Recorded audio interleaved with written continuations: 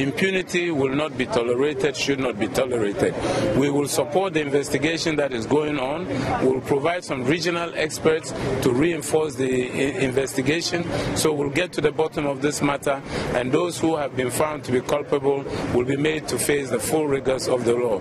Impunity cannot be tolerated, and we will support Guinea Bissau to ensure the rule of law in this country. Thank